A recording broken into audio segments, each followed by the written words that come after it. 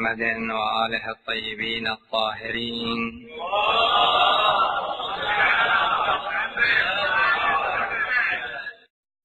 ولعنة الله على أعدائهم أجمعين إلى يوم الدين. كلامنا في هذا اليوم بحول الله وقوته حول حقوق الأولاد على الوالدين. كما أن الوالدين لهما حقوق على الأبناء. الأب له حق على أولاده. والأم لها حق على أولادها.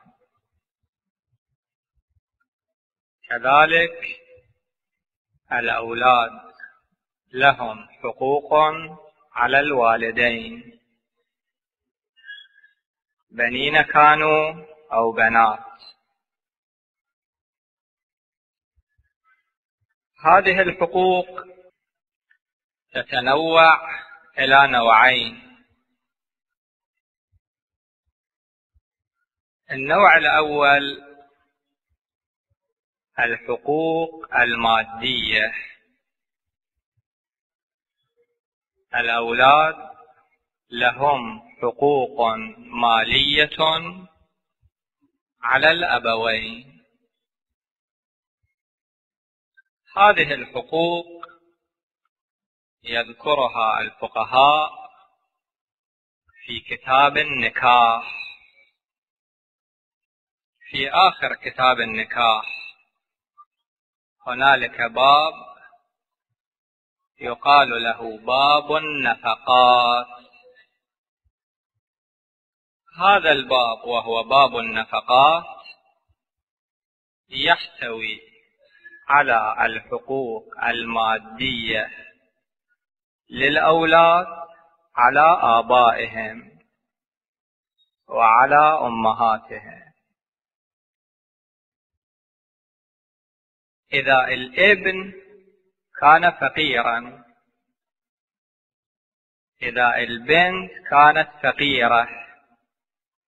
يعني ما كانت مقتدرة من الناحية المادية. يجب على الأبوين الإنفاق عليها الفقهاء يذكرون أنه حتى إذا كان الوالدان فقيرين. هم ما عندهم مال. هم محتاجين في حياتهم. هنالك قاعدة تقول مقدمة الواجب واجب. الإنفاق واجب. إذا الأب أو الأم ما عندهم مال ينفقون على أولادهم. يجب عليهم أن يوفروا مقدمة هذا الواجب. يجب عليه العمل حتى يوفر النفقة لأولاده. في حديث مروي عن الإمام الصادق صلوات الله عليه على ما أتذكر أنه إذا أعثر أحدكم يعني كان في شدة وكان في ضائقة من الناحية المادية. فليضرب في الأرض. يسافر في طلب الحلال. وليبتغ من فضل الله. ولا يغم نفسه وأهله. ليش يبقى في هذا البلد وهو حزين؟ وأهله حزينون. لا خل يسافر. بلاد الله واسعة. إذا السفر كان مقدمة للإنفاق على الزوجة أو كان مقدمة للإنفاق على الأولاد فالسفر يكون واجبا. إذا العمل كان مقدمة للإنفاق الواجب هذا العمل يكون واجبا. إذا هذا العمل يتوقف على مقدمة يعني الإنفاق توقف على العمل. فالعمل مقدمة للإنفاق. إذا هذا الإنفاق اللي هو مقدمة العمل اللي هو مقدمة للإنفاق إذا هذا العمل توقف على مقدمة يعني هذه كانت مقدمة المقدمة أيضا تكون واجبة. بالوجوب العقلي. يعني إذا الإنفاق متوقف على العمل والعمل متوقف على تعلم حرفة من الحرف لأنه يجب أن يكون نجارا مثلا النجارة تحتاج إلى تعلم. فهذا التعلم يعني تعلم النجارة أو تعلم الطبابة أو تعلم أي علم من العلوم التي يتوقف عليها العمل أيضا يكون واجبا. فإذا من وظيفة الأبوين الأب إذا الأب موجود. وإذا الأب مو موجود الأب توفي. أو كان الأب فقيرا لا يتمكن من العمل في هذه الحالة. تصل النوبة إلى من؟ إلى الأم. الأم أيضا يجب عليها الإنفاق. إذا الأب ما تمكن أن ينفق يجب على الأبوين أن يوفر الحقوق المادية لأولادهم. ما هي هذه الحقوق؟ هل هنالك تحديد معين؟ يعني كذا مقدار من الطعام كذا مقدار من الشراب كذا مقدار من اللباس. لا ما هو ماكو هنالك تحديد. القضية متروكة إلى العرف. أن نلاحظ ما هو شأن هؤلاء الأولاد. نلاحظ وضع الأولاد. نلاحظ وضع الأبوين. نلاحظ الشرائط المكانية. نلاحظ الشرائط الزمانية. نلاحظ الأوضاع الاجتماعية. مجموع هذه الملاحظات عندما تلاحظونها يكون للأولاد شأن معين. يجب على الأبوين أن يلاحظ هذا الشأن لأولاده في الطعام والشراب والمسكن والملبس والسفر حتى ربما في العهود القديمة السفر ما كان شأن الأولاد ربما. لكن إذا كان السفر شأن الأولاد إذا كان من شأنهم أقول إذا إذا الشرطية يجب على الأبوين أن يسافرا بأبنائهم. هذا الفقهاء يفتون بذلك. إذا كان من شأنهم مع ملاحظة هذه الخصوصيات التي ذكرت خصوصيات الأب والأم والمكان والزمان والأوضاع الاجتماعية وما أشبه ذلك يجب أن يسافر بهم. هذا من شأنه. هذا مكلف هذا الأب وهذه الأم بشؤون أولادهم. بعض الفقهاء ممثلين بالوسائل الحديثة. هاي الوسائل الحديثة خب ما كانت قديمة. فما كانت من شأنهم هذه المصابيح ما كانت قديمة. الثلاجة ما كانت قديمة. الغسالة ما كانت قديمة. واحد يقول لا يجب لأنه ما كان في عهد النبي صلى الله عليه وآله. هذا غلط. لأنه في ذلك الوقت لم يكن من شأن المجتمع هذه الأشياء. لكن الآن من شأن المجتمع هذه الأشياء ولو في بعض المجتمعات ولو في بعض الأوقات فيجب على الأب ويجب على الأم أن يراعي جميع هذه الخصوصيات.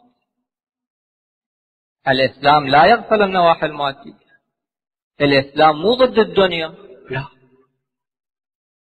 ولا تنس نصيبك من الدنيا.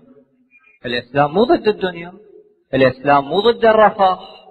فليعيشوا في عيشة مرفهة حتى بعض الفقهاء ذكروا هذا الجزئي. لاحظوا هذا الجزئي؟ الشاي ما كان قديم ما كانوا يشربون شاي. ولكن الآن عادة في كثير من البيوت الشاي شأن المجتمع. شأن الأولاد شأن الزوجة هل يجب على الأب أن يوفر لزوجته وأولاده ذلك؟ نعم واجب. إذا كان من شأنه واجب فالطعام واجب الشراب واجب المسكن الملائم واجب. الزواج إذا كان من شأنه واجب. العلاج إذا كان من شأنه واجب. السفر إذا كان من شأنه واجب. كل هذه حقوق مادية للأولاد على آبائهم. طبعا مع ملاحظة مجموع الخصوصيات المكتنفة.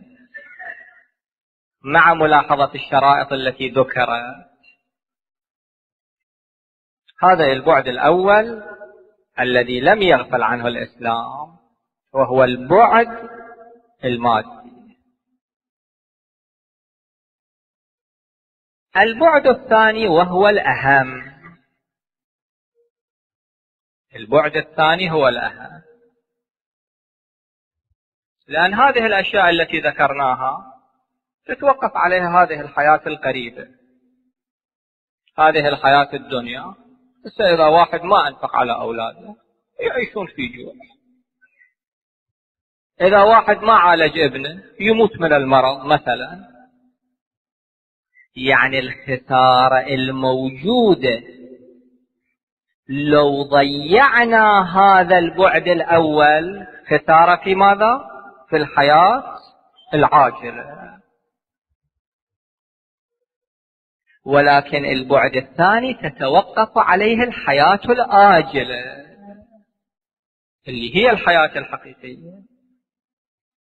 يقول يا ليتني قدمت لحياتي. يعني هاي مو حياة.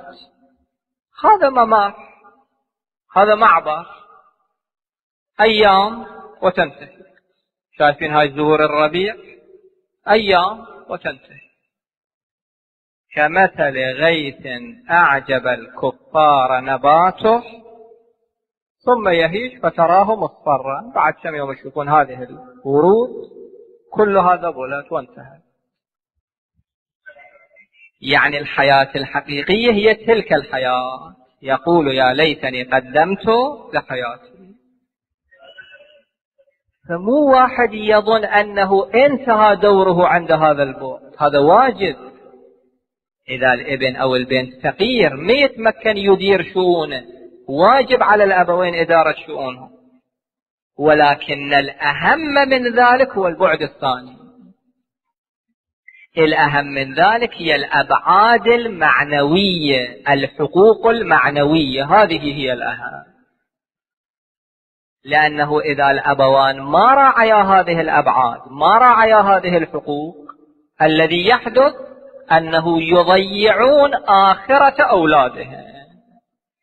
في الآية الكريمة تعبير حقيقة مؤثر. الذين خسروا أنفسهم وأهليهم أكو بعض الناس والعياذ بالله يجون يوم القيامة خسروا أنفسهم لأن ما قدموا لآخرتهم وخسروا أهليهم يشوف زوجته في النار.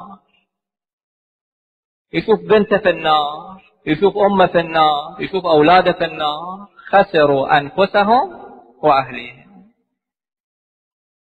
فالمهم يعني الأهم أنه واحد يراعي هذه الأبعاد الأبعاد المعنوية. هذه هي الأهم. في حديث مو في هذا المقام في مقام آخر عن أحد الأئمة صلوات الله عليهم. عجبت لمن يتفكر في مأكوله. كيف لا يتفكر في معقوله؟ في الأكل مواظب يلاحظ أن لا يكون الطعام ملوثا.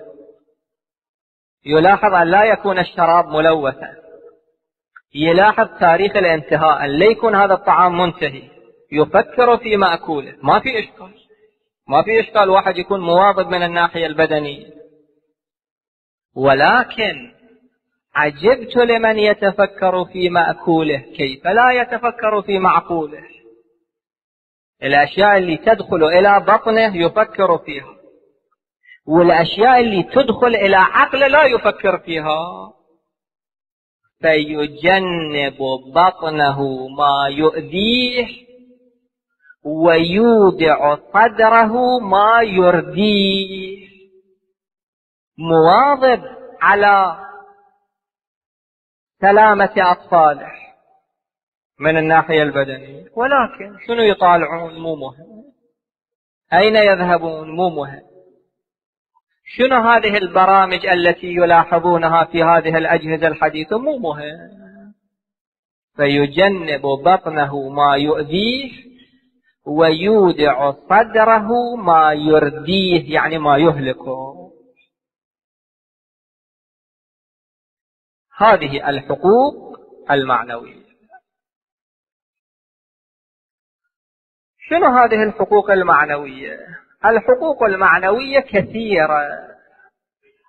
وإذا شاء الله نذكر في هذا اليوم وفي الأيام القادمة مجموعة من هذه الحقوق. الحق الأول. هذه الرواية مروية في بحار الأنوار. وهي عن الإمام الصادق. صلوات الله وسلامه عليه. يقول الإمام في هذه الرواية تجب للولد على والده. ثلاث خصال ثلاثة حقوق واجبه للأبناء وللأولاد على آبائهم. ثلاثة فقط مو أكثر ليش أكثر؟ لماذا الإمام يقول ثلاثة؟ الأصوليون يقولون العدد لا مفهوم له. يعني إذا قلنا ثلاثة أشياء هي من مكارم الأخلاق يعني غيرها مو من مكارم الأخلاق؟ لا. العدد لا مفهوم له.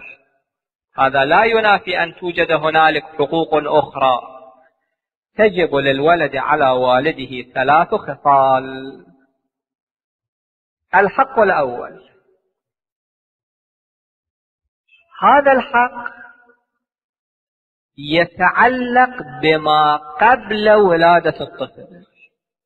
هذا حق قبل ما يولد قبل ما يأتي إلى هذه الدنيا الطفل. قبل أن تنعقد نطفته يعني حتى قبل انعقاد النطفة هذا الحق موجود. شنو هذا الحق؟ لاحظوا الدقة. في التعاليم الشرعية الإمام الصادق صلوات الله عليه يقول في هذه الرواية اختياره لوالدته. أن يختار أم هذا الطفل هذا من حقوق الطفل على والده. من يختار؟ من ينتخب؟ ما هي المقاييس التي يختار بها الشاب زوجته؟ الآن انتهى شهر محرم وصفر. أيام الربيع عادة ينبغي الالتفات إلى هذه القضية. من يختار؟ وفق أية مقاييس؟ المقاييس الظاهرية المقاييس العاطفية المقاييس الشهوانية لأنها جميلة. طبعا نفس الكلام يرد في الأب أيضا. لأنه جميل نقبله. لأنه عنده مال نقبله. لأنه من عائلة مرموقة عائلة وجيهة في المجتمع نقبله. ما في إشكال. ملاحظة هاي الأشياء. شنو الإشكال؟ واحد يبحث عن المال أو يبحث عن الجمال. أو يبحث عن الوجاهة. ما في إشكال. يعني مو محرم. ولكن هذه مو ملاك للسعادة. لا سعادة الزوج ولا سعادة الأولاد. لذلك هنالك شيء مروي لعله حديث. لا تتزوج امرأة لمالها. فلعل مالها يطغيها. تطغى. إذا شافت أنها لها مال أنها ثرية أنها غنية تطغى. طبعا إذا ماكو دين إذا أكو دين الدين يحد جميع هذه القدرات يذمها يلجمها يحددها. أما إذا ماكو دين فلعل مالها يطغيها. ولا تتزوجن امرأة لجمالها لأنها جميلة. فلعل جمالها يرديها. المال يطغي. الجمال يردي. يعني يسقط صاحبه في المهالك في المفاسد الأخلاقية. ولكن تزوجها لدينها وأخلاقها. هذا أهم شيء. الدين والأخلاق. الجمال ينتهي مفعوله بعد ست شهور. يصير شيء عادي. أو أقل من ذلك. خلال عشرة أيام ينتهي مفعول يصير شيء عادي. ولكن الشيء اللي يبقى الدين. الشيء اللي يبقى الأخلاق. هذا مؤثر. هذا هو الحق الأول. اختياره لوالدته. أنه من يتزوج ومن تتزوج. هذا يأثر في نفس الطفل يأثر في جسم الطفل يأثر في روح الطفل يأثر في السجايا الأخلاقية للطفل يأثر في دين الطفل. في كل أبعاد حياته لذلك أهم شيء اختيار الأم. هذا من جانب الرجل. ومن جانب المرأة اختيار الأب. اختيار الأم واختيار الأب. هذا هو الحق الأول من حقوق الأولاد على آبائهم. الحق الثاني المذكور في هذه الرواية وتحسين اسمه.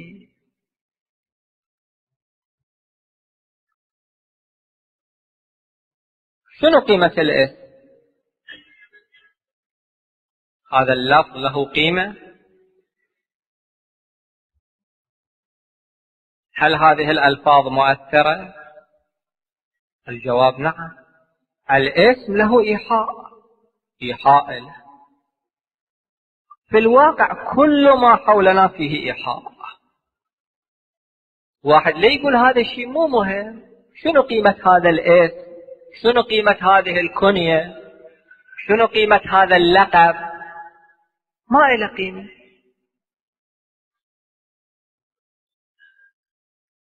ليش؟ كل ما حولنا فيه إيحاء هذا إلى إيحاء وإلى تأثير.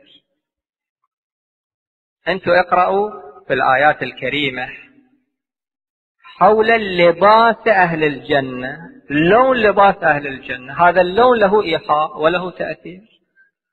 يعني اللون الذي حولنا يؤثر في نفسنا ويؤثر في روحنا. يمكن هذا؟ كان هنالك جسر هذا العلماء ذاكرين. يقال له في إحدى البلاد الأجنبية جسر الانتحار. الأفراد كانوا يجون حول هذا الجسر فوق هذا الجسر يلقون بأنفسهم في وين؟ في بحر أو نهر ويموتون يغرقون. علماء النفس درسوا هذه الظاهرة. لاحظوا الدقة. وفكروا كيف يقللون من حوادث الانتحار. قالوا أفضل شيء نغير لون الجسر هذا هو تغيير لون الجسر. لون الجسر كان مثلا لون قاتل رمادي كذا. فغيروه إلى اللون الأخضر. في الآية الكريمة خضر ثياب أهل الجنة. غيروا إلى اللون الأخضر. فقلت حوادث الانتحار إلى حد كبير. ما أدري ذاكرين 20% 30% أكثر أقل. يعني هذا اللي في منتهى حالات الكآبة عندما يجي في هذا الجسر يريد أن ينتحر يشوف اللون لون أخضر هذا يأثر في نفسه فينصرف عن محاولة الانتحار. يعني حتى اللون مؤثر إيحاء الألوان مؤثر الوضع الاجتماعي مؤثر الأشياء المحيطة بالإنسان مؤثر الاسم أيضا مؤثر الإيحاء حتى إذا ما يشعر. الأسماء الطيبة لها إيحاء طيب. كان واحد من الأفراد هذه القضية تنقل. هذا كان كثير الكذب كثيرا ما كان يكذب. وهذه عادة حقيقة جدا سيئة. وكان في إحدى البلاد المقدسة. في يوم من الأيام يأتي أحد العلماء من إيران يشوفه ويسمع عنه وعن وضعه. يلتقي به يقول له ما اسمك؟ شنو اسمك? يقول اسمي صادق. فيقول له ذلك العالم إذا كان اسمك صادق فلا تكذب. مو ملائم اللي اسمه صادق أن يكذب. يقول هذه الكلمة أثرت في نفسيته ولم يعد إلى الكذب بعد ذلك أبدا. لم يعد إلى الكذب. الاسم مؤثر الأسماء القبيحة. أنا الآن ما أذكر الأسماء المنهية عنها في الروايات. ومع الأسف متداولة فيما بيننا. إذا حبيتوا راجعوا كتاب النكاح في بحث الأولاد وراجعوا كتاب الآداب والسنن كثير من الأسماء المبغوضة عند الله متداولة عندنا ولا أذكرها. واحد يغير هذه الأسماء. يغير هذه الأسماء. النبي صلى الله عليه وآله كان يغير الأسماء. الأسماء غير المناسبة. في البلاد الأسماء غير المناسبة في الأفراد كان يغيرها. واحد يغير اسمه يغير لقبه يغير كنيته لا إشكال في ذلك. هذا أثر الاسم الطيب. وهنالك أثر أخروي للاسم الطيب. لاحظوا هذا الحديث في الخبر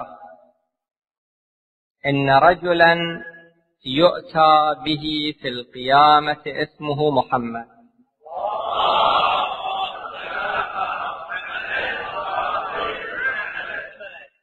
فيقول الله له ما استحييت أنت أن عصيتني وأنت سمي حبيبي؟ أنت اللي اسمك محمد. ما استحيت اسمك باسم النبي صلى الله عليه وآله. ما استحييت أن عصيتني. ثم يقول الله له وأنا أستحي أن أعذبك وأنت سمي حبيبي.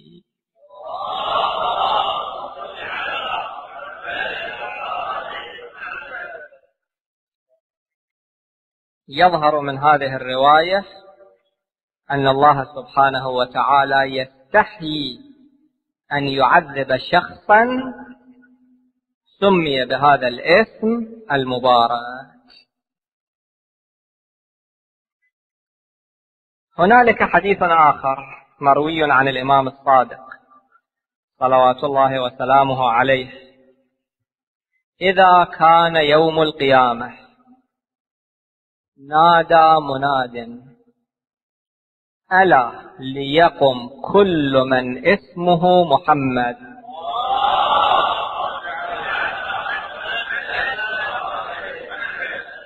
فليدخل الجنة لكرامة سميه محمد.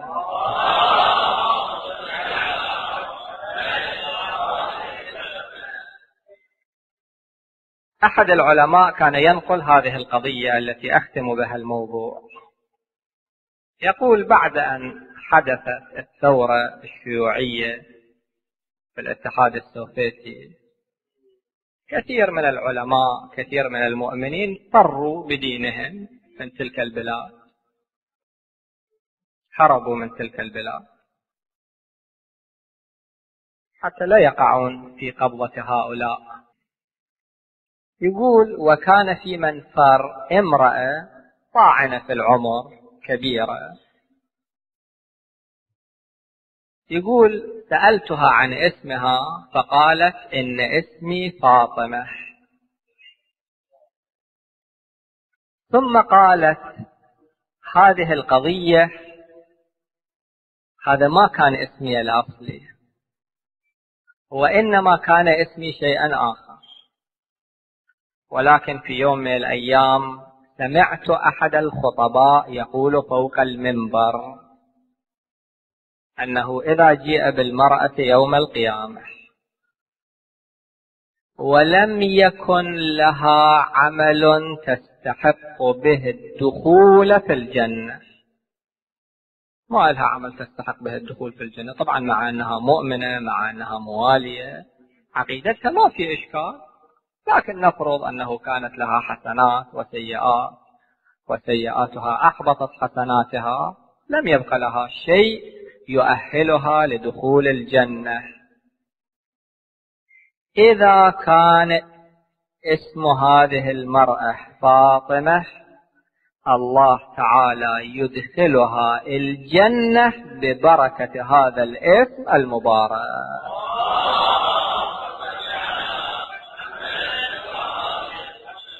تقول هذه المرأة عندما سمعت الخطيب يقول ذلك غيرت اسمي إلى فاطمة.